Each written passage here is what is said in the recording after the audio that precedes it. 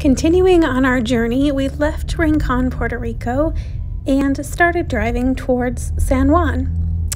We decided to stop at Cascada Gozalandia, which is a large waterfall. You pay $10 to park, and then you can spend as much time as you want at this beautiful large waterfall. As you can see, the sky is dark, and we got to the waterfall and it was pouring rain. Completely pouring. There were a few people under this awning that I decided to stand under for a little while, and the rain was just coming down like in buckets. If you can see those stairs, just so much water. So I was waiting until the rain stopped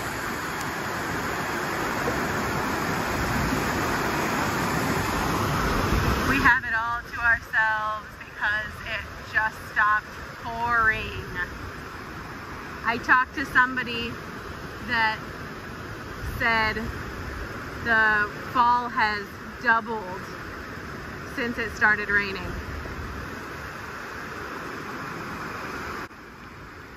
As you can see, we could not play in the waterfall. The current was going very quickly, and doing anything recreational at this point was kind of out of the question. We'd already paid our $10, so we were not going to just turn around and leave. We decided to explore a little bit, um, and we did have the place all to ourselves.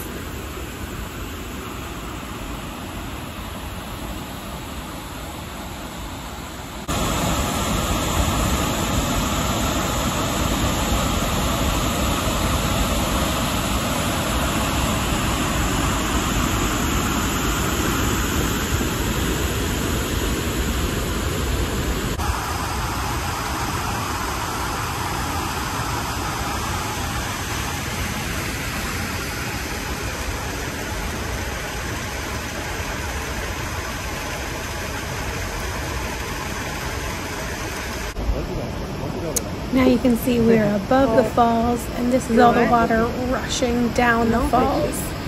We came back a year later and this whole area looks totally different and I will show you that at the end of this video what it looked like in 2022 compared to what it looked like in 2021.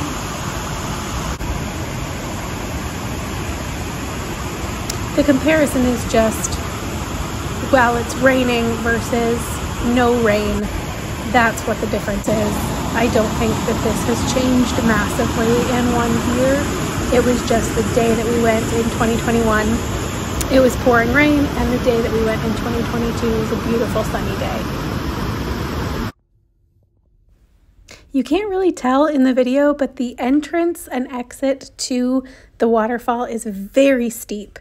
So getting up it was difficult, and then going down was just a little bit scary. But watching it back on the video, it doesn't look that steep. So it, it seems like I'm making a big deal out of nothing, but it was actually very steep and kind of scary.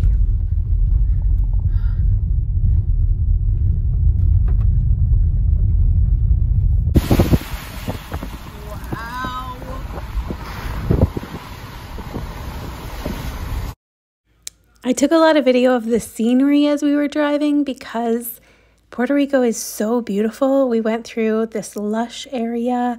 We saw plains, we saw mountains, we saw lots of houses. So, just very interesting if you're interested in kind of what Puerto Rico looks like. This is a good thing to watch because you are seeing more of what real Puerto Rico looks like versus just what a tourist might see. So I highly recommend renting a car and taking a road trip because you'll see a lot of things that you would otherwise miss.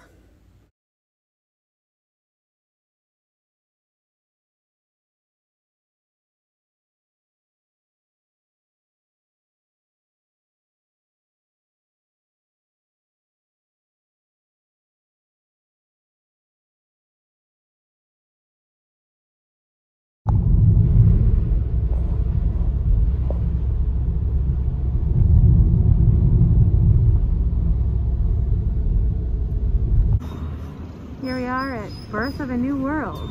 It looks like you can't get in, but this statue is supposedly taller than the Statue of Liberty.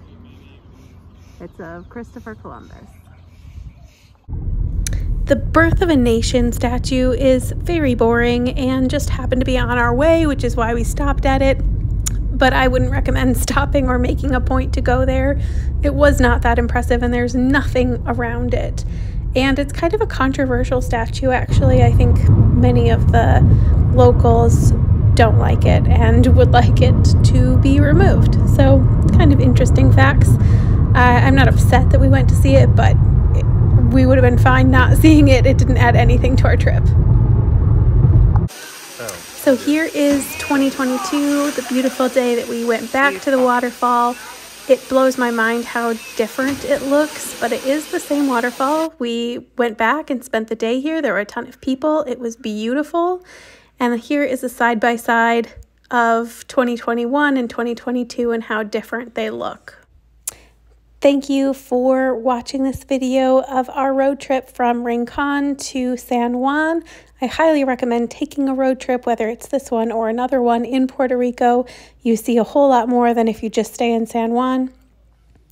And I highly recommend going to this waterfall on a nice day. It's beautiful, it's a great way to spend the day, and I hope that this has inspired you to travel more.